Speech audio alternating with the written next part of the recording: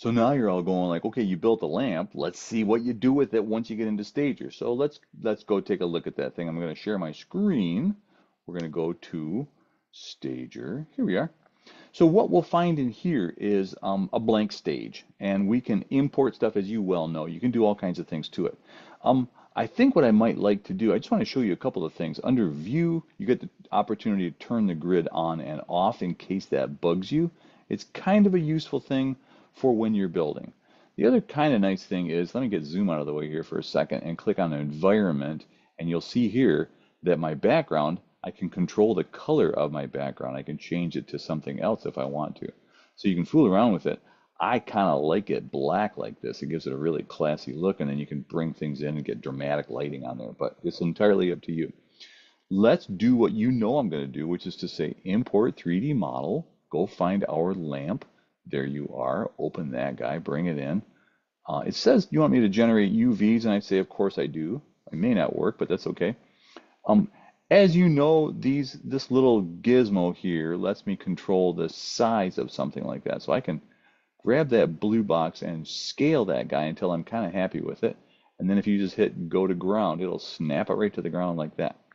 Um, I'm also going to bring in a desk here and just plop that a table in here. So now what I can do is put my lamp on top of my table. I'll pull that straight back up again and then pull that over until I get the little note that says, you are there. Whoops, I don't want to rotate it. I want to move it. That's my little arrow there. I'm still rotating it. Maybe what I'll do, sometimes you have to just kind of rotate around until you've got a better angle on something. So there we go. V key will give me my tool back again. Now I can grab that arrow tool and pull it over here and then set it on top of that. So that'll tell me, snap, see that? Isn't that cool? And it says, oh, you are on the surface. So there we go.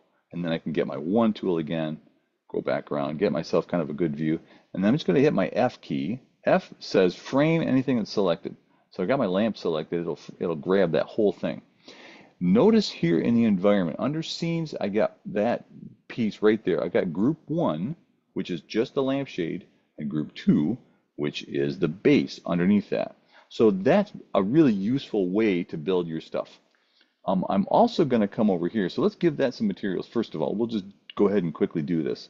So let's find something that's kind of cool that we can use for the glossy beige satin fabric. I don't think that's going to be right. Let's get the base of that filled with something like um, a gray clay, maybe a brown clay, maybe this hexagonal. I don't know. There's a lot of cool things inside here. You can see you can have a lot of fun with this. Boink. It's going to take a minute.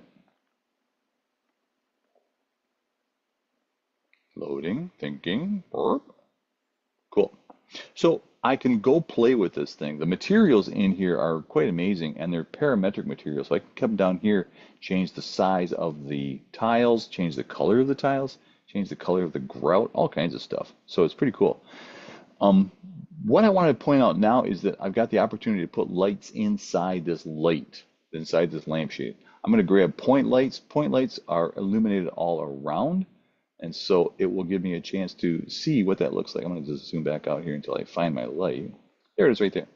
So it's on the ground. What I'm going to do is grab that V for my move tool, my gizmo, and then pull that up until it is basically inside my lampshade. So you sometimes have to kind of zoom around until you see where am I in space. You can kind of see it's pretty much in there. I'm, I'm going to turn ray tracing off so we're not getting so much excitement happening while we're trying to work here. But you can kind of see it. It'll, it'll continue to show you what it looks like, but it's going to be right there. So what I want to do is now, again, V, I might pull that up a little bit farther. You can duplicate it inside here and put two or three or four light bulbs inside that. Um, here inside the properties for that point light right there in my scene, right there, you can see there's my point light. Here under object, I've got the opportunity to say I want the exposure to be high. I've got to turn the intensity up. You can see what it's already starting to do. It's lighting up the inside of the shade, lighting up the surface of the table. Um, that uh, lampshade, I think what I'd like to do also is give that a material, materials, of something that is kind of cool, like maybe this glossy lead satin fabric. that looks pretty sweet. Um, same thing, I'm going to grab my trestle table and give that a material of like a wood material. So we get something like rough lumber. Sure, that sounds great. Oh, I'm liking that a lot. So then again, you can kind of set yourself up with the view that you want. Where do you want to be? I'm going to zoom in here. Um, once I get happy with the view and say that's what I want to do, um, what I can I could also do is put a rug on the floor. Let me just quickly show you how to do that. I'm going to go back to my regular materials, my standard materials, basic shapes, plane. I'm going to put a plane on the floor. Uh, v for grab my tool there. Box will let me scale that until I'm kind of happy with the size of it. It's just a plane. It has no dimensionality to it. So I can make that as big or as small as I want. And then what I can do is say under File, Import, and I want to place material on selection. And it says, what material would you like? And I go, well, I've actually got a piece of carpet down here. Oh, you know what? I might have to change it to, I might have to change that to um, a standard standard object. So this is a bit of a trick. So when you put a material or a basic shape in here, a cube, a sphere, something like that, it's it's got special properties to it, and until you switch it to a standard object, it won't let you do um, a material on it. So you right here under actions, it says you notice you don't get the sticker. So this says I'm going to convert it to a standard model. Is that okay? And you go, sure, convert to standard model. Turns into the sticker. So I could click the sticker here, or I could go to File and say Place Image on Material, Import, Place Image on Material, Material and Selection, and come back here, and now I can pick my, can I get my, that, my model now? Why is that not doing that? What the schmutz? Don't you hate when that happens? Especially when you're making a video. Good grief. So especially when I just did it.